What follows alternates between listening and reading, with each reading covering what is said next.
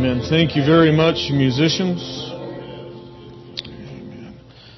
Um, now, I used to know a guy, um, well, it's a guy that we all know and love, that was convinced that I did not believe in the baptism of the Holy Ghost. And um, no matter what I said or what I preached, I could not convince this individual that I did. Um, it, and it was just kind of a dead end situation. But uh, I do believe in the baptism of the Holy Spirit. And I believe that it is the last day provision for the church. But I'll tell you what I do not believe. You do not need to be baptized with the Holy Ghost to go to heaven. That's oneness doctrine and it's heresy. Okay? And they get it from Acts chapter 2 verse 38, which when you read that carefully and you actually study it out in the Greek, it's talking about a result of salvation, and ye shall receive the gift of the Holy Spirit. In other words, it's something that takes place after you experience salvation. It doesn't happen at the exact same time. I, have known people, Brother Lance, that got filled with the Holy Ghost when they were down praying to be saved, and it happened at the same time. But it, it, it doesn't always happen that way. And when somebody genuinely repents of their sins and becomes converted to Christ, if they would die the minute after they do it, they go straight to heaven. Amen. Now, I want to thank everybody here. Uh, as your pastor, I'm, I'm very, very proud of everybody that went out on the Fair Parade outreach. I, am very proud of Brother and Sister Martin when she came up and said that they were praying for us, that God would move, and they went out and witnessed, you know, at a different place. And we didn't necessarily expect them to walk from Linway Plaza all the way out to the fairgrounds, right? Amen. But they wanted to be a part and they went and did what they could do and we appreciate that. But folks, I want you to know I really appreciate everybody that was involved in that outreach. Because when that outreach comes around, I get fired up every year and it seems like I get fired up in two different ways. One of them is positive. Well, both are positive, but the other one might seem a little negative. Okay, the way that I get fired up in a positive way is because we have such a potential to reach that many thousands of people with the gospel of Jesus Christ. I mean, it's just an awesome experience. I mean, how many tracts did we hand out, uh, Sister Streeters? Over 10,000, right? I mean, it, what other day, Brother DeBoard, can we go out and accomplish something like that? I mean, so I get fired up, and I get fired up for a multitude of different reasons just under that one reason. Because I like doing it, okay? And I realize I pull the thing, but I do that because I'm the pastor, okay? But I like to see people that have never gone out and hand out tracts before get all excited because they see, hey, this really isn't all that hard. I like to see the look on people's faces, you know, when they, they grab them and they start reading them. I think, yeah, you just go ahead and read that thing because you don't understand the potential of what you are holding inside of your hands. But I get fired up in what some people might call a negative way too, and that's I get excited um, and get fired up about when I see all these different big churches that we have in our community, and um, they see the exact same potential for that day that I do, you know, if they have a spiritual bone in their body. And uh, when you go up and ask them what they're planning on doing, what they're doing is handing out iPods, you know, because they got that kind of money to do that because they've got this big old fancy church. Or they're handing out T-shirts or bracelets. They were handing out free concert tickets. On their float, they were playing secular music. Okay? Now, and you guys know I'm, I'm not trying to be mean spirited or anything like that. I mean, I want you to believe. But I get fired up over that because of the potential of what they have to do too. And that's what we're going to talk about tonight. I want to pray, I want to preach to you for a little while on the right type of work and the right type of worker. Because that's very, very important to God. And I want to make sure I felt, man, I wanted to preach this this morning and the Lord wouldn't let me, but I'm glad that He's going to let me pe- preach it now. And I'm, again, I'm not feeling good, but maybe it'll be easier to, you know, just get into it. Not feeling, we'll just see what happens. But, uh, I'd really appreciate it. Brother G, if you'd pray over the service. Mm.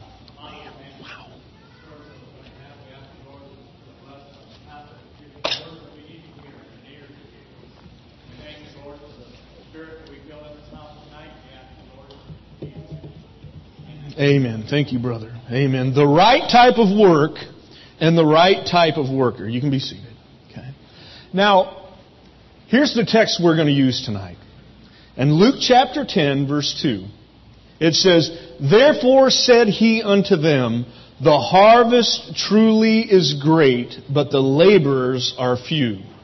Pray therefore the Lord of the harvest that he would send forth laborers into his harvest. Okay? Now that text is making two things very, very clear. The first thing that it's making very clear is that there is a tremendous work that needs to be done in this world. Amen? Amen. People are lost, folks. I mean, when you go outside these doors, the kind of people that you're going to run into are people that are deceived by the devil. They're lost. They're dying. They're on their way to a devil's hell because Satan's work in this world and in their lives is both fruitful and it's flourishing. And if that doesn't constitute for a tremendous work that needs to be done in this world, then I don't know what in the world does. So it's obvious. The Lord's saying, listen, the harvest is great. So there's a work that needs to be done. Then the second thing it's making very clear is the fact that God wants to use us as His people to accomplish the work that needs to be done and to combat everything that the devil is trying to do in this world. Okay? For instance, notice what we're told in the following verses. I'm going to read our text again. Therefore said he unto them, The harvest truly is great, but the laborers are few. Pray ye therefore the Lord of the harvest that he would send forth laborers into his harvest. Then the Lord said in Matthew chapter 28 verse 18, all power is given unto me in heaven and earth.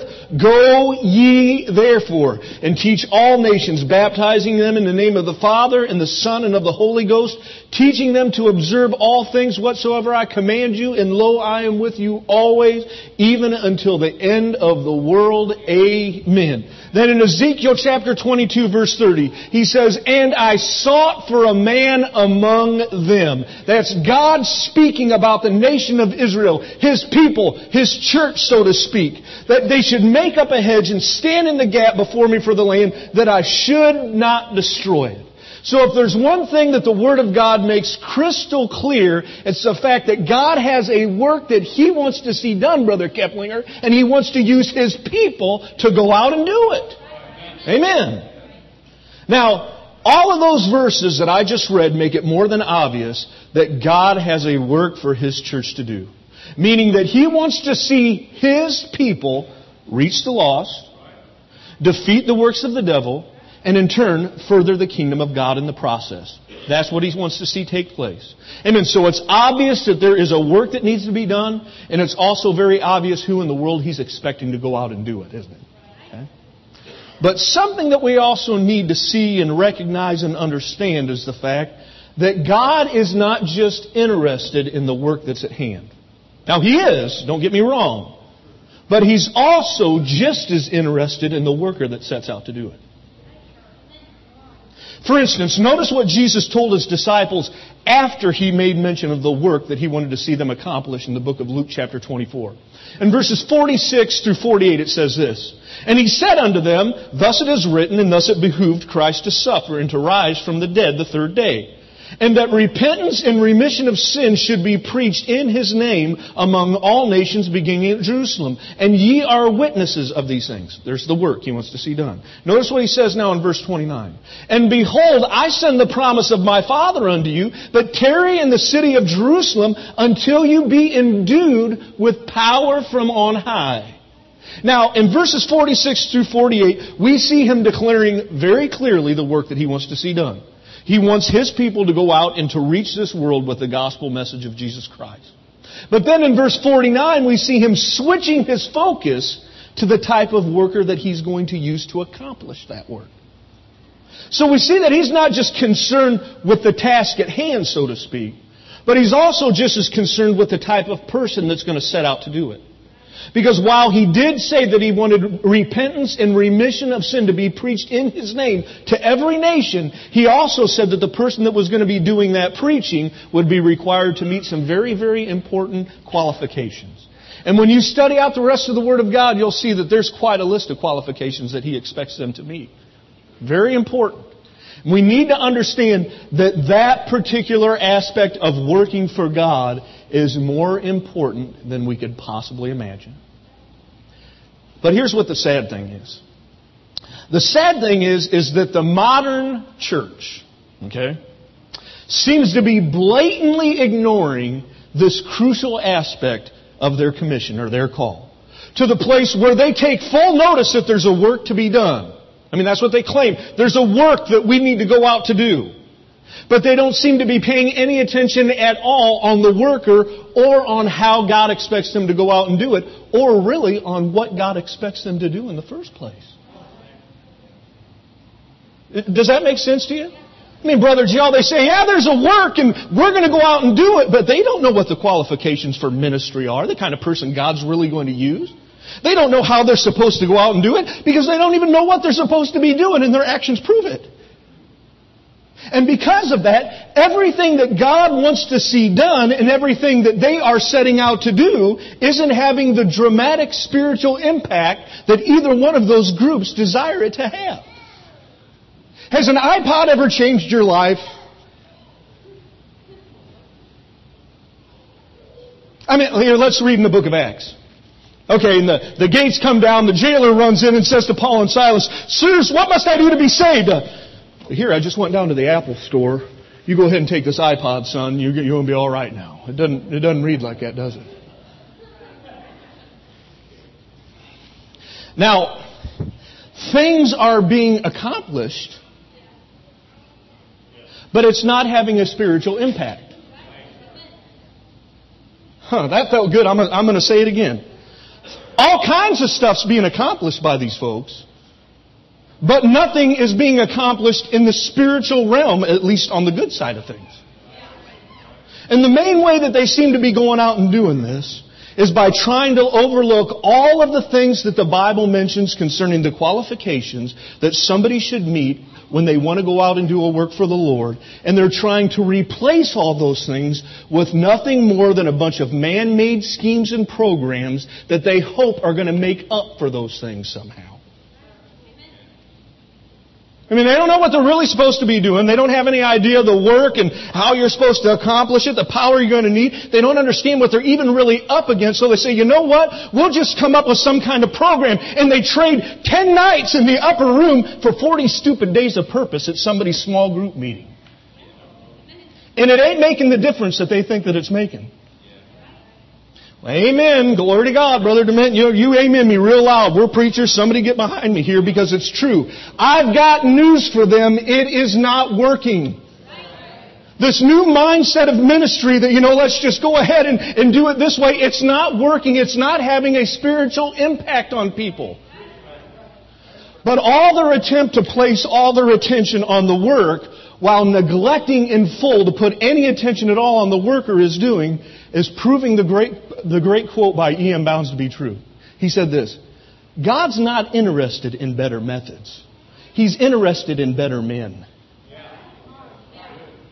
Uh, let, let me put that in modern vernacular. He doesn't need to resort to changing his methods to go out handing free concert tickets and stupid iPods in order to regenerate somebody by the power of the Holy Ghost. He still wants to use the gospel to do that.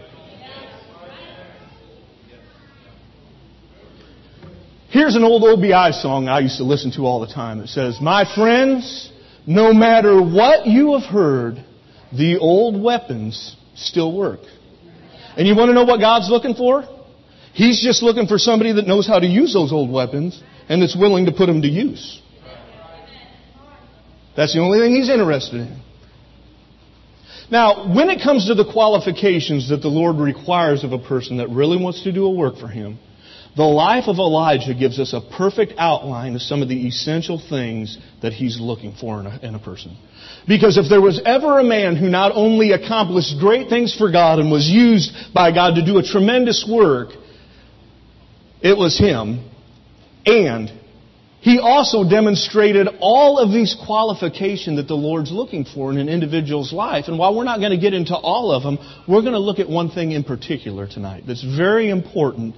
And uh, I hope eh, everybody, I already scanned the crowd. Everybody here can handle this message, and you're all probably going to agree with it.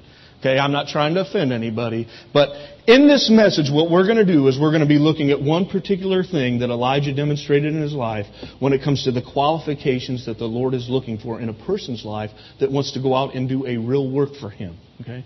And that is the fact that Elijah was a man that had an extremely solid understanding of the Word of God.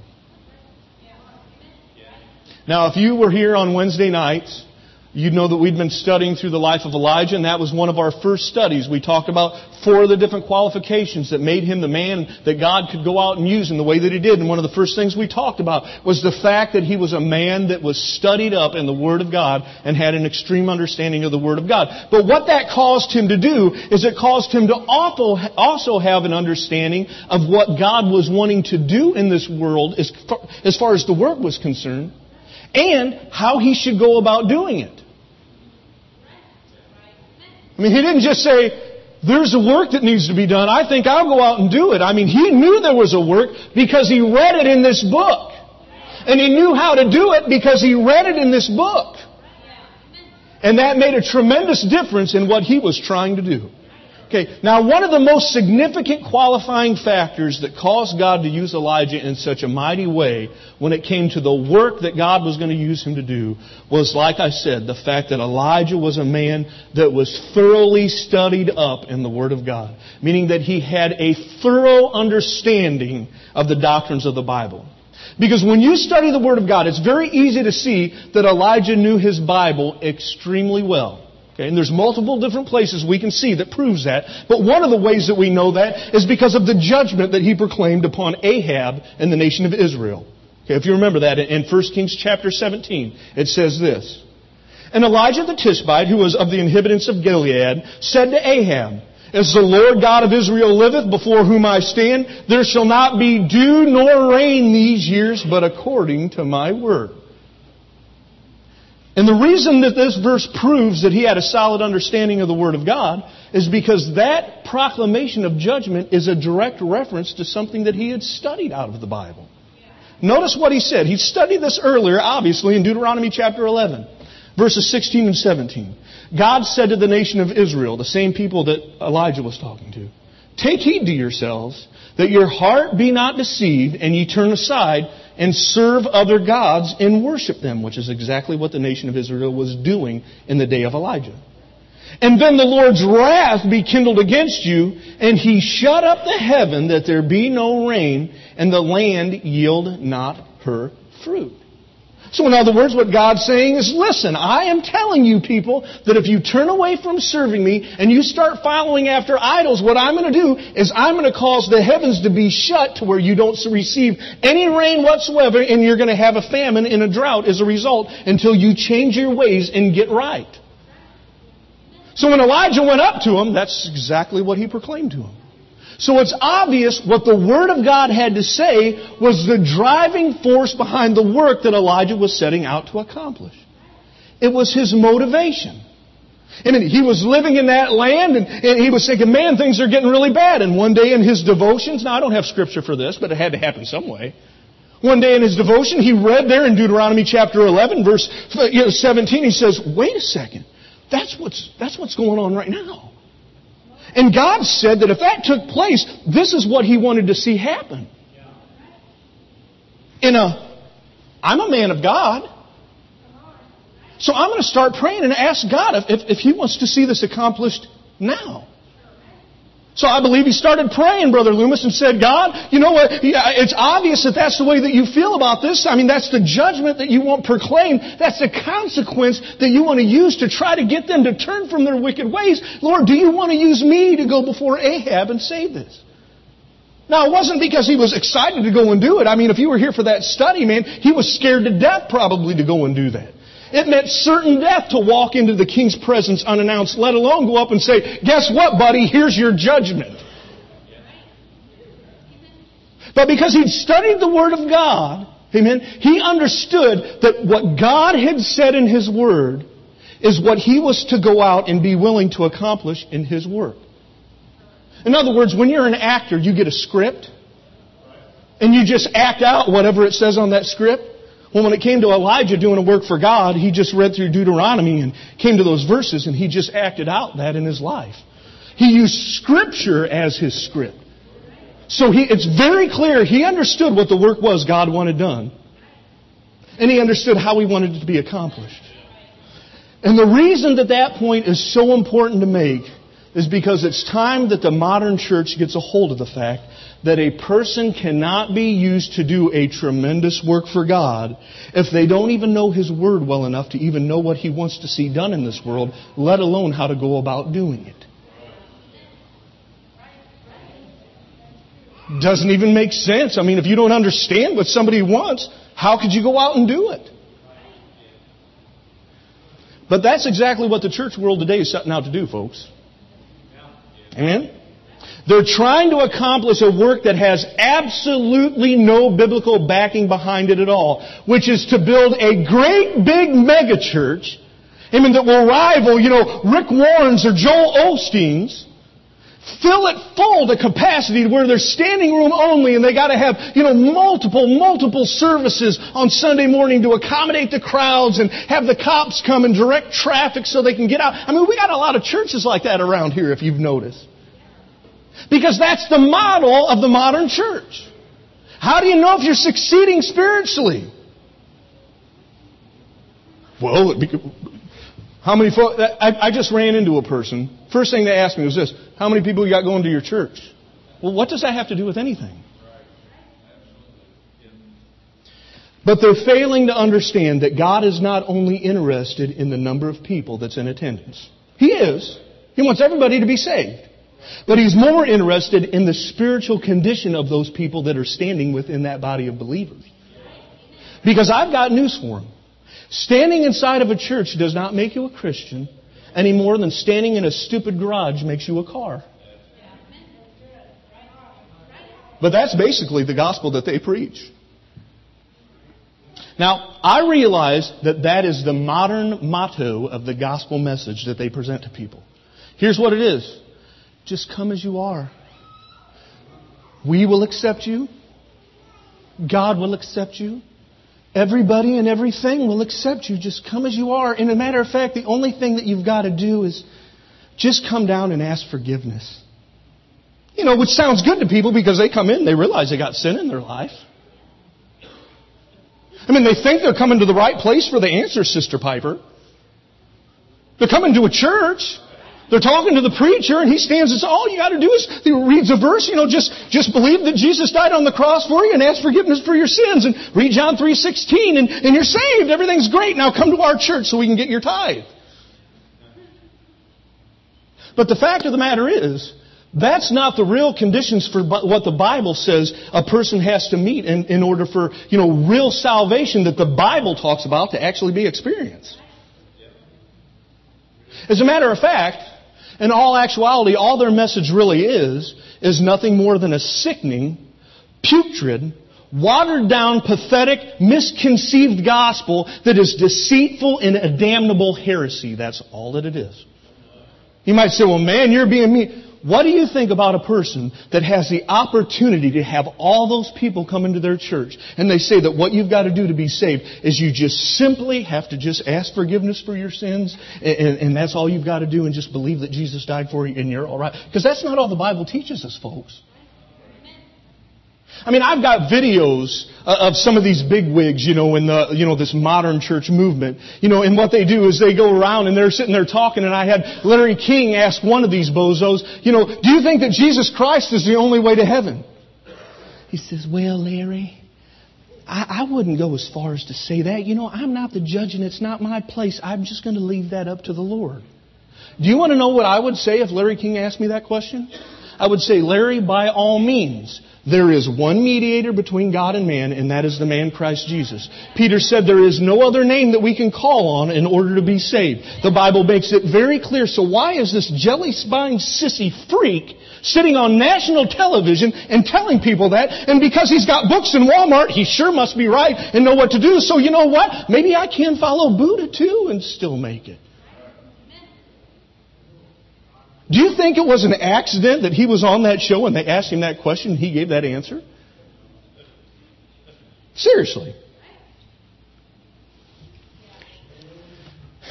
And just because the church leaders that hold to this modern philosophy of ministry might have thousands of people standing inside their buildings on a Sunday morning, that still does not make their building a church, and it still doesn't make the people that are standing in it Christians, folks. Okay? Because God is not just interested in what we claim. He's interested in two very specific things that need to come afterward. Our character and our conduct. And if those things don't match up with what we're claiming to be, then God is not interested in anything that we have to say. I mean, after all, Jesus said that He was coming back for a glorious church that was pure and without blemish. Not just a church that was packed to capacity. Amen? I mean, it, says that he's returning for a church that was genuinely saved by the blood of the Lamb, not just for a church that didn't have any empty seats. That's not what it says. That's not the gospel, folks. So here's what the modern church and their new mindset of ministry needs to understand when it comes to the work that God really does want to see accomplished in this world. He doesn't just want us to build a church that's full of people that take on this new age concept of what ministry is. But He wants us to build a church where the people who make it up are genuinely saved and want to go out the, and do the work that the Word of God says that He wants them to do. And He wants to make sure that the basis of their faith is true repentance, that they're striving to live a holy life because they really have repented, and that those biblical beliefs that they hold are what they're propagating and preaching to other people. And if they're not willing to do that, He doesn't want them to go out and work for Him. And the reason why is because those things, if, if they're not, if those essential things aren't in place, then God is not going to use the people that are going out to do that work in the first place. And you want to know why? This is a good quote. You might want to write it down. If God can't use you as an example, then He's not going to use you in ministry. It's not going to happen. Because the only way that a person can possibly have the authority that they're going to need to do that work is by knowing their Bible. Why? Because this is our only authority. It's the only way that we even have an understanding of the work that God wants to see done. It's the only way that we can possibly understand how He wants us to go about it. And the only way that we can have the anointing that we're going to need is if we are following the Word of God and we're seeking to fulfill it in our own personal lives. That's the only way that He's going to use us. So here's the thought that I'd like to pose to everybody that is entertaining the modern church mindset. If the people that believe that way would ever take the time to read their Bibles in depth instead of just skimming them on the surface, or neglecting to read them so that they can read 40 days of purpose or the purpose driven life or whatever it's called. If, if, if, if they would ever read the Word of God, they'd already know this stuff. They'd already know. I mean, they wouldn't be guilty of wasting their time and deceiving people's souls with their watered down, undoctrinal false religion, which is what it is. As a matter of fact, they might actually start to go out and win real converts to Christ that in turn could go out and win other people. They could bring them inside their church and they could disciple them. I mean, after all, they're already willing to go out and do a work. I mean, if they would just do it in the right way and do the right work, man, who knows what those people might be able to accomplish rather than simply going out and making false converts that only confuse people in the process. Notice what I just said. They get these people, and they, uh, as a matter of fact, I knew a guy that was as messed up as you could get. He moved out to Seattle. He got addicted to heroin. He almost overdosed. He was in the hospital for a long time. I believe they had to give him a blood transfusion just to get him back to normal. I mean, he was a wreck. I mean, he had a lot of trouble. Well, he, I, I saw him one day. I didn't even know he was back in town, and I saw him down at Kroger's one time, and he said, "Hey, man, you know what are you up to?" And I said, "Well, actually, I'm the youth pastor down at First Assembly of God." And he goes, "What? I can't believe that." And I said, "Well, yeah." He goes, "You're not going to believe this, but I got saved too." I said, "You did?" He said, "Yeah." And I said, "Where are you going to church?" And he told me where he was going. And I thought, well, man, he really, you know, I hope he's really getting a hold of it. Then I saw him, you know, driving down the street in his truck, you know, smoking a cigarette, and you know, seen him since then doing things that I find real questionable about somebody that was really regenerated, like we talked about this morning. You know, I was in one of these big churches one time. I went to an Easter play, and I was with a specific individual that, that came up to me and he said, you know, hey man, I, I feel like I need to go down. You know, they were calling him down, and I said, well, you know, I can talk to you. No, I, I need to go down. Well, I went down with him because that's what you ought to do. I mean, you ought to try to make him feel comfortable. And I went down, and he went up, Brother Prysock, to some of those elders in the church, and he says, well, what do I need to do? Goes, well, just, just go ahead and come back to the church. You know, we're having church next Sunday and we'd love to have you and just go ahead and come. He was there saying, what do I need to do to be saved? Oh, just go ahead and come to the church. Make sure you bring your 20 bucks with you. Think of the opportunity they had right in front of their face. An elder, and that'd be like somebody coming up to Brother Price, like, hey, brother, you know, I'm being really convicted of my sin. You know, sir, what must I do to be saved? Well, you know, it's good to have you tonight. Why don't you come to church next week? You're more than welcome here anytime. Glory to God. I can't help but to be fired up over this nonsense, folks. Again, I'm not trying to be mean, but folks, we need to understand. Here, here's, here's a really good quote that I heard uh, Brother Taylor say one time. He said, There is nothing quite so unbecoming as that of a living contradiction. There is nothing quite so unstinking becoming as that of a living contradiction. And did you know that it's not us old fashioned holiness nuts that we're the only people that feel that way? But did you know that the overwhelming majority of lost people feel that way too? You say, well, Pastor, I don't know about that. What's their greatest complaint against the church? All the hypocrites. Who's making them? I'm tempted to start saying the names. Sister, if you go ahead and come. Listen, if you want to do a work for God, then you have to know what His Word says about the work He wants to have done. And the reason why is because you'll only know what He wants and how He wants it done. And you'll only have the authority and the anointing that you're going to need to accomplish it if you've read the Word of God and you're simply using it as a script to go out and perform your actions. That's the only way. Okay? And I want everybody to understand, I'm not trying to be mean spirited. Okay? And I'm sure not trying to say that we're the only church that's going to make it to heaven. I'm not saying that. I don't believe that way, folks. Okay? But I am saying that God has warned us very specifically and very emphatically that in the last days, this is the kind of thing that was going to take place. And I want you to understand what He had to say about this kind of stuff and the people who went out and did it. He said that there were going to be people that would prefer deception over real doctrine. And he also said that they would promote the very same thing. Take notice of how strongly he made sure that this issue was dealt with multiple times in the Word of God. I've just picked three of them. 1 Timothy chapter 4 verse 1. Again, do you think I'm being hard? I want you to see how God put it. Now the Spirit speaketh expressly that in the latter times some shall depart from the faith, giving heed to seducing spirits and the doctrine of devils, speaking lies in hypocrisy and having their conscience seared with a hot iron. Doesn't sound real favorable, does it? 2 Timothy chapter 4 verse 1. I charge thee therefore before God and the Lord Jesus Christ, who shall judge the quick and the dead at his appearing in his kingdom, Preach the word. Be instant in season and out of season. Reprove, rebuke, exhort with all long suffering and doctrines, talking about the correct kind. For the time will come when they will not endure sound doctrine. But after their own lust shall they heap to themselves teachers having itching ears. And they shall turn away their ears from the truth and shall be turned to fables, fairy tales, kitty stories. But watch thou in all things, endure afflictions, do the work of an evangelist, you make full proof of your ministry.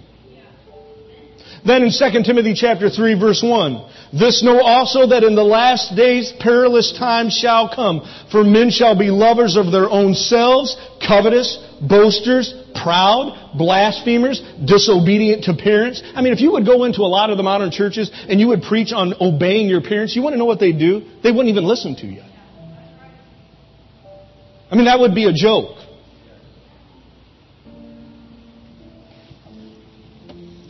Unthankful, unholy, without natural affection, truce breakers, false accusers, incontinent, fierce, despisers of those that are good. They're old fashioned. You don't need to do all that stuff. Traitors, hey, that's a good word. Heady, high minded, lovers of pleasures more than lovers of God, having a form of godliness but denying the power thereof. And what does it say to do? From such, turn away. Don't have anything to do with them. Matter of fact, the only thing it said that we should do with them is rebuke them so that they could be sound in the faith or have the opportunity to become that way. And we're also told two very severe consequences that this kind of mindset towards ministry is apt to produce. Jesus said in Matthew chapter 15 verse 8, This people draw nigh unto me with their mouth, and they honoreth me with their lips, but their heart is far from me. But in vain they do worship me, teaching for doctrines the commandments of men. Then in Titus chapter 1 verse 16, they profess that they know God, but in works they deny Him, being abominable and disobedient, and unto every good work reprobate. Then it says in 1 John chapter 2, He that saith, I know Him, and keepeth not His commandments, is a liar, and the truth is not in him. And then here's what really gets me upset, and no, nobody thinks I'm being mean, do you? I mean, I hope you're upset about this kind of thing too. Here's, here's what really gets me, Brother Boyer. In Romans chapter 2, verse 24. For the name of God is blasphemed among the Gentiles through you. In other words, they look at the church and, or the supposed church, and they're saying, well, look, look what they're doing. I mean, there's no change to take place. God's a joke. He must not even be real. I mean, I remember that one guy on a Way of the Master program. Uh, Cameron was sitting there talking about a guy that tried to experience salvation. And he said, but, you know, I didn't see any change in the people around me, so I just gave up because I figured, you know, God must not be real. That's how people feel. God is being blasphemed because of their actions and their claims towards Christianity. That's why I'm fired up about it. Now, those verses are pretty serious, aren't they? And we need to make sure that as the people of God, we take them that way. And here's why. Because I preach this message for two reasons. Number one, I don't want to see anybody become discouraged by the supposed success that they have when they go out and they do the exact same thing that we're trying to do on the exact same day in the exact same kind of ministry. Because it can get discouraging. Matter of fact, when we were pulling out, we started going down just Lincoln as soon as we got out of the parking lot, and I looked, and there was a sea of, of people in the same colored shirts, and I knew where they were from and all those things, and I thought, man, how did they get all those people? You know, what's the deal? You know, I can't even get people to show up on Wednesday night, Sister Kincaid. I mean, how in the world did they got all... I heard one time a particular church took in 60,000 forsaken dollars during one offering at one of their services. That's a lot of folks giving a lot of money. Think what real Christians could do with that as far as real ministry is concerned. There'd be no reason that, you know, some of these missionaries that have to come and beg for money, but these churches just want to give them $30 a piece. I mean, they have to stay in the United States and take stupid short-term mission trips. They wouldn't have to live like that. Presley'd already be in Germany. Akers and his whole crew would already be stationed where they were wanting to go. Because they'd have sufficient funds to do it. So I don't want anybody to get discouraged because we need to understand that even though they have a success in what they're trying to do, which is to get people to come to their church and nothing more, it's a false success. And the reason I say that, because that's the only thing that a false message can bring. Now, let me make this real clear because you're all looking at me like I'm the meanest person in the world and you're going to vote me out instead of take up the, you know, the kids crusade thing. To understand what I, I feel terrible for the poor people that go in there and, and, and are told all you got to do is ask forgiveness and just start coming to the church and get part of the programs and, and start handing out, you know, donuts on the, uh, you know, four-way stop and everything's going to be fine. I feel bad for people like that because they come seeking, what does God want from my life? And they're told by people they should be able to listen to. So, to a certain extent, I blame them because they got a Bible. They could read it. That's kind of like the Catholic Church. When you're not encouraged to, you probably ain't gonna. Because what happens when you start doing it and you're not really converted? You start seeing things that God starts putting His fingers on, and I don't want nothing to do with that. And when you're not really regenerated, you don't have a divine nature in you that gravitates towards wanting to do. Is this making sense to you doctrinally? The second thing, second reason I'm, I'm, preaching this, is because I sure don't want to see anybody buy into this stupid, pathetic, new modern ministry mindset that we don't need to just go out with a good old fashioned gospel message, hand out tracts, preach on the street corner, go and knock on doors. We don't need to do that. I mean, what we need to do is come up with some new kind of program because that's the only thing that's going to work in the day and hour that we live in. You know what Light for the Lost does? I mean, we can't hardly get it flying anymore, but I mean, we've had it here and stuff before. They hand out literature. Missionaries, they gather missionary literature so they can hand it out when they're out on the field. I was talking to a particular pastor one time at a very big Assembly of God church, and I said, hey, you know, we're trying to set up some different Light for the Lost meetings. You know, we'd really like to come to your church. And you want to know what he told me? Uh, we're not interested. I said, well, man, you know, there's a lot of people saying that. You know, what's the deal? I mean, did you have a bad experience? Uh, he goes, no, that's just not cutting edge. You know, that's not going to get people in. We're not. The gospel's not cutting edge? I thought it was sharper than any two-edged sword.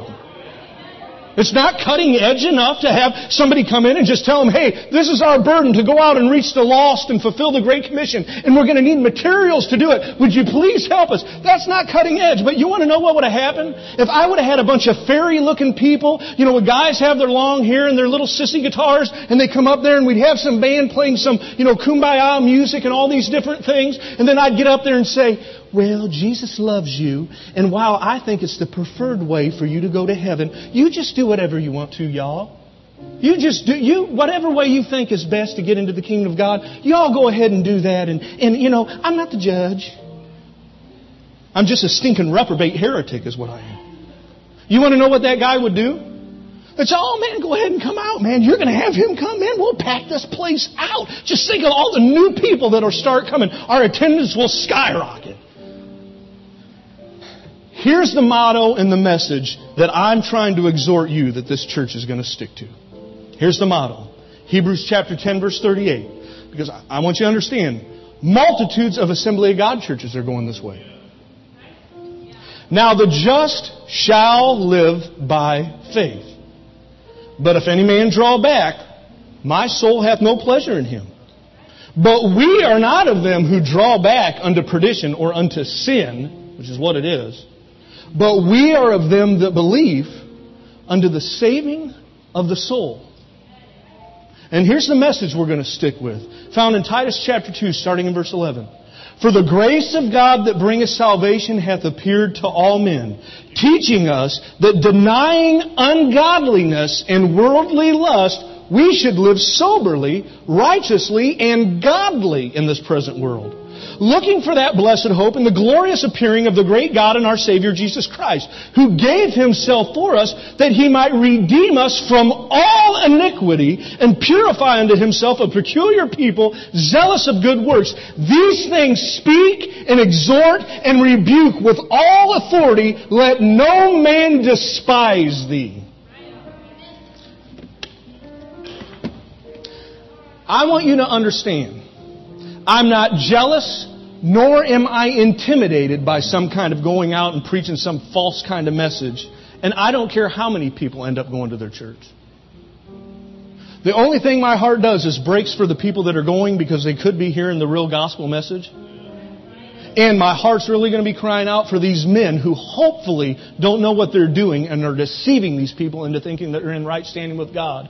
But when God calls us and we stand before Him, it doesn't matter if we were deceived and we said, well, wait a second, that church said all I had to do was this. That's not going to matter. He said that you had to repent and become converted. Live a holy lifestyle or you were not going to get in. My heart breaks for those people. And if I'm going to stand up here and I'm going to criticize them, then I also need to be praying for them, folks. But more importantly, I, listen, I know nobody's going to nod, but I know I've had several people, I, have overheard things that they were saying. Okay?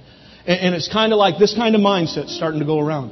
Well, you know, maybe, you know, the things they do over there ain't, ain't that big of a deal because they're accomplishing something. I mean, they're, they're winning people. They're not winning anyone. They're getting people to come to their church or to accept their gifts and all these different. They're not being won to Jesus Christ because they're not getting the gospel. Don't think, man, I better switch churches, and that's not my reason for preaching this. Or man, I better start doing things a different way, and if we don't, man, Pastor, you got to get with the program. I mean, this is 2011. I'm going to go with the old weapons, and you want to know why? Because they still work. God is not looking for better methods. He's looking for better men. So I want to be just like Isaiah. Who you want to send, Lord? Here am I. Send me. I'll do the work that you said you wanted to have done. I'll do it the way that you said you wanted it to be done. And I'm going to go out and I'm going to be, try to be used of God to accomplish it to the best of my ability. Amen. Let's go ahead and stand.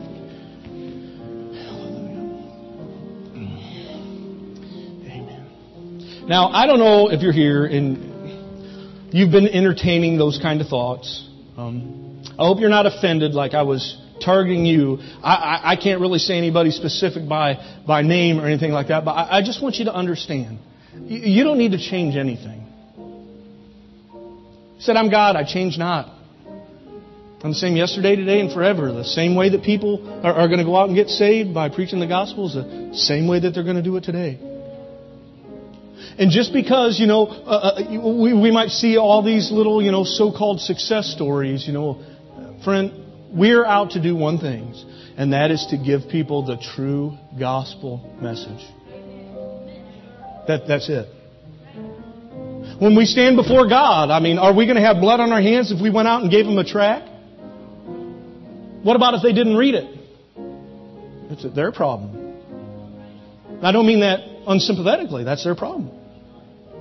But if all I do is go and hand him a concert ticket and say, hey man, you know what? You ought to come and worship with us tonight. And then, you know, let's go out there and you can come to our church sometime. Am I still going to have blood on my hands?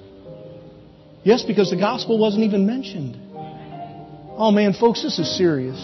We are living in the last days, and our Savior stressed this to us so emphatically. Listen, don't fall for this nonsense. Turn away from that kind of stuff. Don't want anything to do with it. As a matter of fact, rebuke them to their face so that they might have the opportunity to be able to understand their folly and turn to Christ themselves. Well, I'll just repeat myself all night long, folks. Don't fall for that nonsense. Amen. We're doing things the right way. Amen. If that pew never gets full, when the rapture takes place, all the rest of us are still going to go if we're living right. If we still only have one service on Sunday afternoon and our parking lot isn't even full, let alone have cops have to direct traffic to get out of here, you want to know what's going to happen when we die? We're going to go to heaven, regardless of how many people. Heavenly Father, we come to you in Jesus' name, Lord. Lord, we ask that you would help us not to fall to the deception of what this worldly mindset that modern church ministry has been diminished down to. But Lord, help us to understand that the old ways still work. Help us to cling to that and realize that we don't need to change things other than becoming more and more consecrated to the commission that you've placed upon our lives. And you said if we would go out with the gospel message, that all power would be given to us and we would be able to make a difference in this world. Lord, we're praying that you would come and prove the right gospel message to be the true gospel message and the most effective gospel message. Lord, I pray that you'd come and just give a burden on our hearts to not even be interested, let alone even begin to entertain those kind of thoughts that this, this worldly church is trying to push on us. God, people even within our own denomination are falling for this by the droves. God, help us never to go that direction. And we'll thank you for it, Lord, in Jesus' name.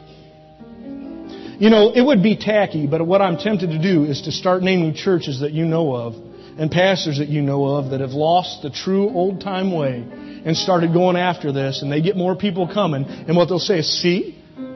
Who's God for, me or you? And I'll ask them, well, you know, how do you know God's for you? Well, it's obvious. Look how He's blessing my ministry. But is your ministry based off the book? Well, I mean, I'm talking about, look at, God's got to be for it because look at how He's blessing. Who says He's blessing it?